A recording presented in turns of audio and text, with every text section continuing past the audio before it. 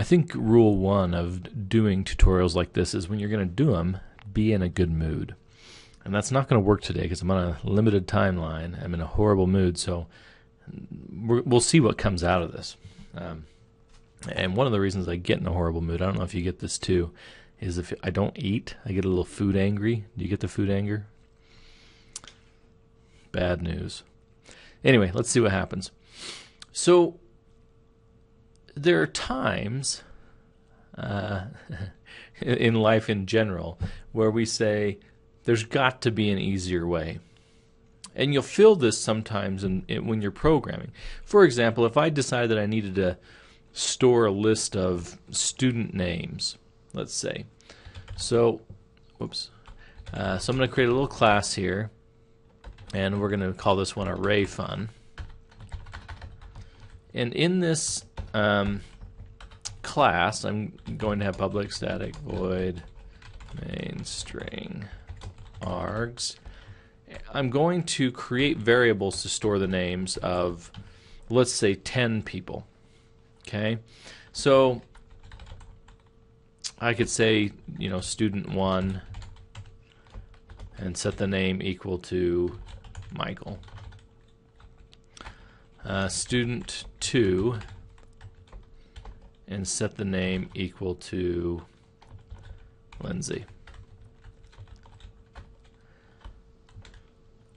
Student 3 set the name equal to Gob. Student 4 George Michael. Student 5 Maeby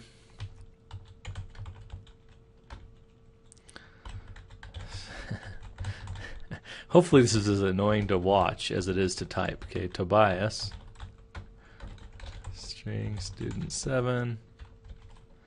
Uh, Buster. String student 8. Uh, George.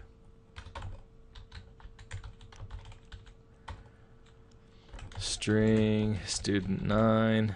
This is this is some great entertainment value right here. This watching me type has got to be one of the most exciting things that uh, you've ever done. So we've got a list. We need one more name. Um,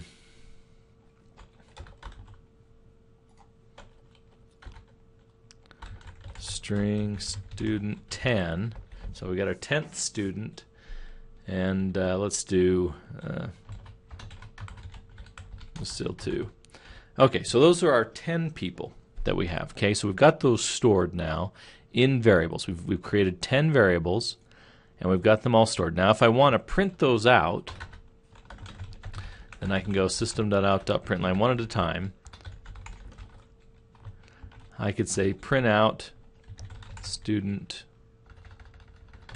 student number one and then print out this whatever's in the student one variable. And then I could say system.out.println student number two. Okay, you may want to fast forward here. Okay, don't really. Student two. Because what I'm going to do is I'm going to get lazy and say, oh my gosh, this is painful. Why don't I start cutting and copying and pasting? This is never a good idea. Always leads to bad things.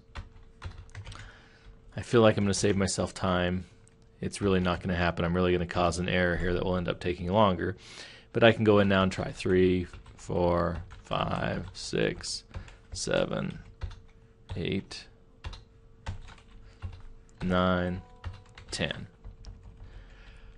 Okay, then over here. One, two, three, four, five, six, seven, eight, nine, ten. Okay, so now this amazing program is going to put those names into variables and then print out the list of names. Okay, and that worked. It printed out the list of uh, names. this program's so stupid. But but think about this. What if I were to say, okay, now let's do 30 students? How would that be? or 50 students or 100 students or 1,000 students. To try and do this process, as you're doing these print statements, you have to be thinking to yourself, there has got to be an easier way to do this. And as we went in and created all the variables, there's got to be an easier way to do this. And there is. Um, one of the data types, data structures that has been around from very early on in programming is something called an array, and that's why we named our program Array Fun. An array, when we think about an array of something, like an array of food, don't you picture like a food laid out on the table? Right? This big array of food all set together. When we have an array of something, or, or I don't know why I'm See, I'm getting happier thinking about these thoughts. There was a thought about food, but I was thinking like an array of flowers. It always you hear that a flower array, um, flowers all bunched together, right? Whenever we get into a situation where we realize that all of this stuff is exactly the same except for the number, right? They're all strings. They're all representing a student in this class. Um, and the only difference really is just this number. Whenever we're in this type of a situation where when we see this, then that tells us that's probably a good opportunity to have an array help us out. An array works like this. I say I want a string array. Now we do the indication of wanting an array by doing opening closing bracket, square bracket. So we want a string array. We give it a name, students and set it equal to a new string uh, array and the what goes inside these brackets these square brackets is the number of students that we want now in this case the number is 10 what that does behind the scenes is it goes out into memory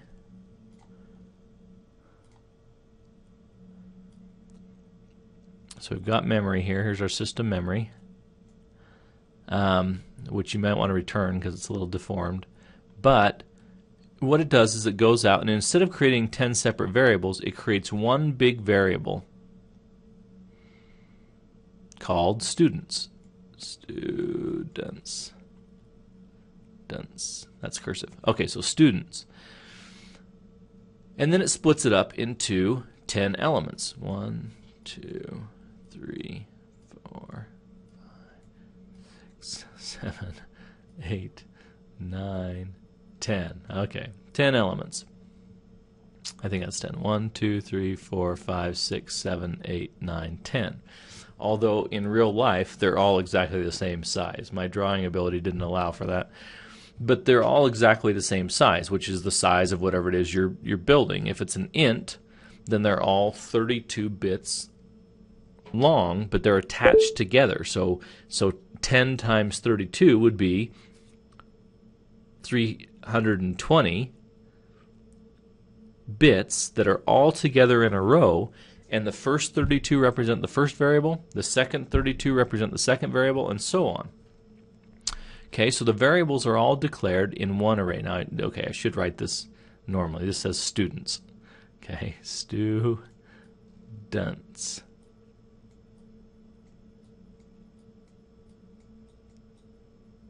That's the students array that I just created. So then when I say, instead, I don't have to declare anything anymore. What I do now is I say, go out to that student array at the first element. Now, in the array world, we start at element 0. Why is that? Well, we can take, once we know the, the size of the variable, so an integer is 32 bits, then we can just multiply that variable by its offset to know where to what bit in the array to go. For example, if I say uh, let's go to position 0 like we did here, then it takes 0 times 32, which gives us what? 0, which means let's start at position 0 of the array, right? Well, if I'm trying to find the, the second one, which is position one. So I can go in here and say go to student position 1, you take 1 times 32, so 1 times 32 is 32, so you go out to the 32nd bit and read in 32 bits, and that's going to be your second variable. Does that make sense? And so position 2, which is the third position, and it's actually students, I've been typing student here, but it's students, element 2, 2 times 32 is 64, right? So we start at position 0, go 64 bits in, and read in 32 bits, and that's the next variable. It makes it very uh, organized that way. And that's why we start at 0 in uh, arrays. Well, we can go through and do the same thing for all of these. Students element 3, students element 4, I apologize. My computer is making a little beeping sound. I have no idea what it is. It's some window I've got up is making the beeping sound. See? See why I'm just so angry today? Just frustrated.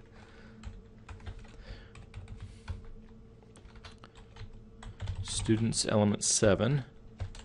We're going to run out of video before I get this example done. Students element 8.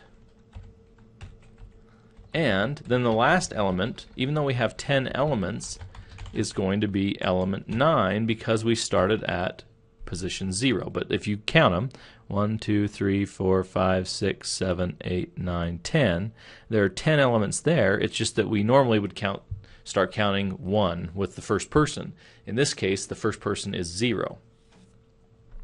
And you'll just get used to in the computer world, it's always zero based numbering. So um, you end up just using it for other things even though you don't need to.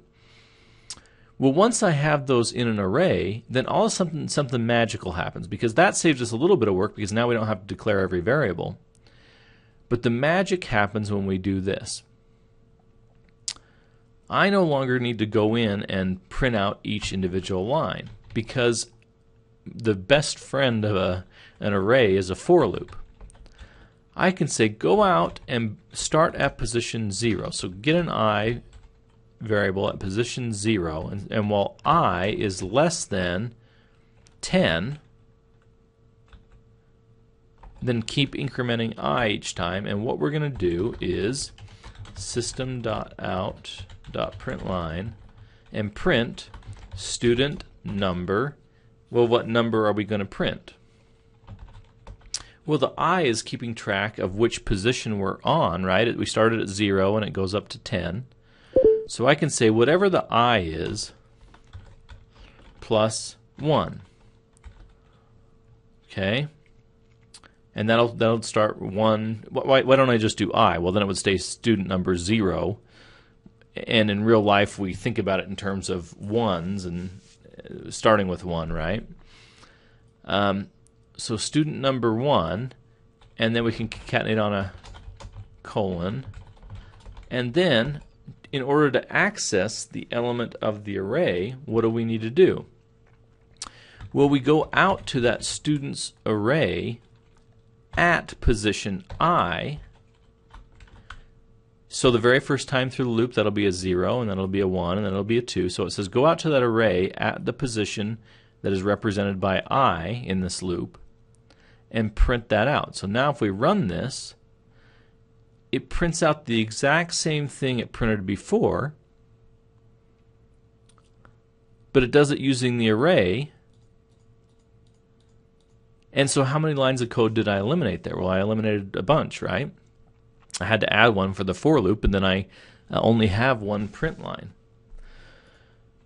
And, and now do I care if it's 10 or 100 or 1,000? Well, no, because nothing changes except for this number. If it was 1,000 names I was trying to print out, I'd just change that to 1,000, and then it would just run through that over and over and over again uh, to, to print out those names. And, and my work doesn't become any more difficult.